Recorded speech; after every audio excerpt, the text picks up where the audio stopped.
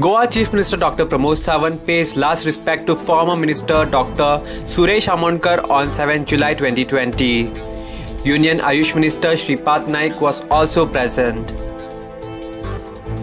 Dr. Suresh Amonkar died of COVID after a 15 day long prolonged battle in COVID hospital. He was admitted on 21st June 2020.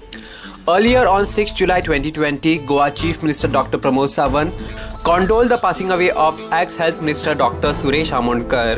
Here's what Goa CM Dr. Pramod Sawant posted on social media. Deeply saddened by the passing away of Dr. Suresh Amonkar, former president of BJP Goa Pradesh and former cabinet minister of Goa government, his contribution to the state of Goa is immense and will never be forgotten.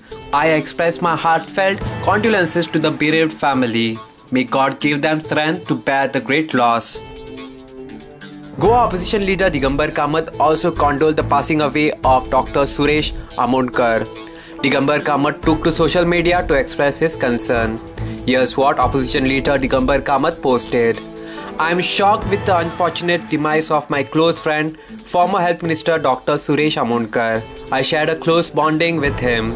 He lived with sincerity and honesty in his personal, professional, political, and social career. He was my cabinet colleague in former Chief Minister Francisco Sardinha's government. He always lived with simplicity and served the people of his constituency and state of Goa without any expectations and a single motto of giving his best service to the people. His contribution for betterment of Goa will keep him alive in everyone's heart. My condolences to his family.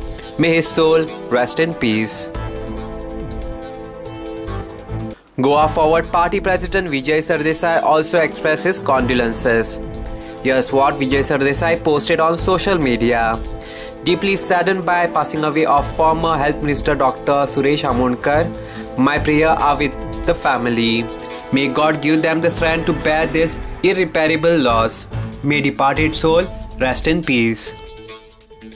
Dr. Suresh Amonkar was elected to the Goa Legislative Assembly from Pali in the 1999 and 2002 Goa Legislative Assembly election as a member of Bharatiya Janata Party.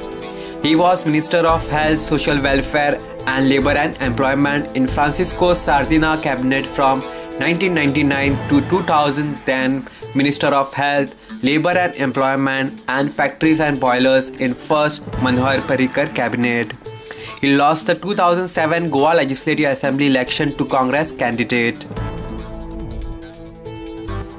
Subscribe to Goa First News and Entertainment channel and click on the bell icon and never miss any update.